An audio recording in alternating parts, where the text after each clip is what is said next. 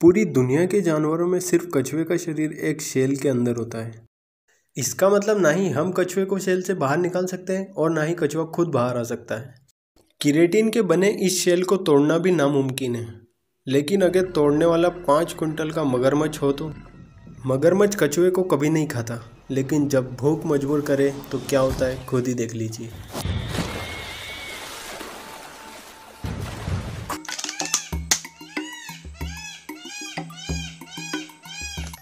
ये सब देखने के बाद अब मैं क्या ही बोलूँ? कछुए की आत्मा को शांति मिले। एक लाइक ज़रूर करें कछुआ भैया के लिए।